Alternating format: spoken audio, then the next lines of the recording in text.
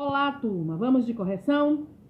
É, ainda do módulo 1, viu a, a, o finalzinho que a gente fez, que a prova ficou pendente. Então, para a gente regularizar todo esse módulo 1 de história de vocês, nós vamos ter concluir com a correção, beleza?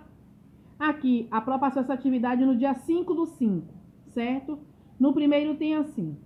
Cite um dos principais motivos que fez muitos nordestinos migrarem para as grandes cidades entre os anos de 1950 e 1960. Né? A gente sabe que um desses motivos foi a seca, correto? No segundo, como os, como os migrantes transformam as cidades?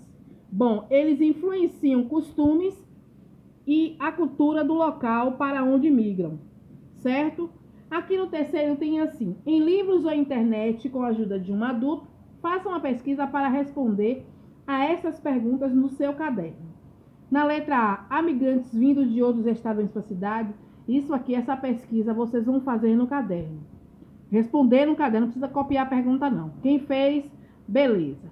Nós vamos agora para a página 31. Aqui na página 31 é explorando o documento.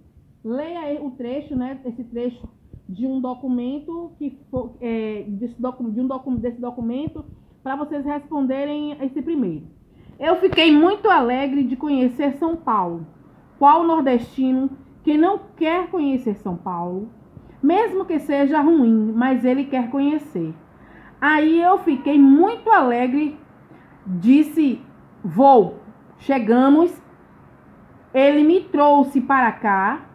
Não vou dizer que passei vida boa. Eu era completamente sozinho.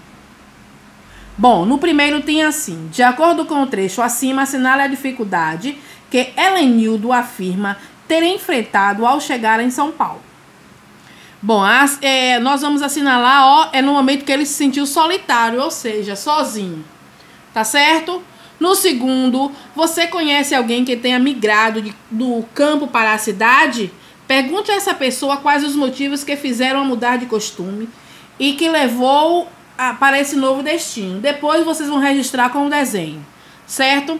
Vamos agora para a página 34. Agora na página 34 tem assim: Por que os sírios e os venezuelanos estão emigrando de seus países? Bom, no caso dos sírios, eles fogem da guerra do civil. E os venezuelanos, por sua vez, eles enfrentam a grande crise econômica. Tá certo? No segundo tem assim: marque com o X a frase correta. Então a frase correta é a do meio, é, a segundo, é o segundo quadrinho, onde diz que os refugiados são migrantes, certo? Beijos, cheiros e até a próxima correção.